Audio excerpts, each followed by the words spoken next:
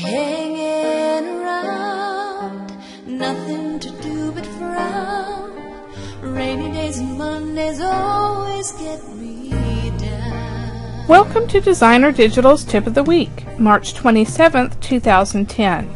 This week, how to move layers with transparency in Photoshop and Elements.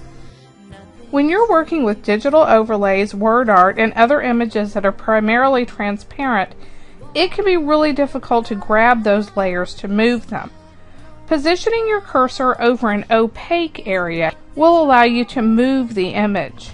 But when the opaque areas are particularly fine and difficult to drag, simply get the Move tool here and uncheck Auto Select here in the Options bar. Doing this will allow you to select the layer here in the Layers palette and then click and drag even from a transparent section of your image. Be sure to tick the Auto Select box again after you've moved the layer because most of the time this is a handy feature that allows you to select items quickly as you work. So it is a good idea to keep it checked.